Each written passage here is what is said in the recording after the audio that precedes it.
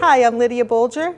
I'm the class of 2021 salutatorian at Bristol Community College. I grew up in Boston. I grew up in a house with my mother and her parents. Unfortunately, my father had passed away very young. My ambition was to become a nurse. I met my husband and I decided that I just really wanted to spend all my energy on a family life that I wasn't afforded because of the death of my father. My husband went in the Navy in 1980. We moved so much. We had to pay rent, we had a child, then two children. The children's necessities came first before um, my goal of going to college. A job came open in a foundry in Foxborough and I worked there for 10 years. The owner was getting on in years and he decided um, that he would like to close the, bill, the business. That's when the light bulb went on. I said, oh, here's my moment. I have to do it. And even though it was very daunting, I mean, we were used to my income. I decided to stick with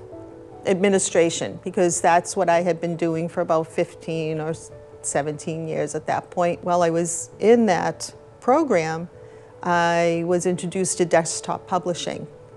And I'm a very creative person. I thought, oh my goodness, web design, that's for me. No matter how old you are, no matter how many careers you've had, when you find something that just fits, it was amazing. It was amazing, and it's all because I came here. It didn't matter to the school how old you were. It just mattered that you were a student and, you know, your goal is their goal. To be sitting here today as a salutatorian, I'm so amazed that I was able to finally achieve my lifelong goal of getting a college education and to have gotten it in such a supportive environment as Bristol Community College. I'm just so thrilled.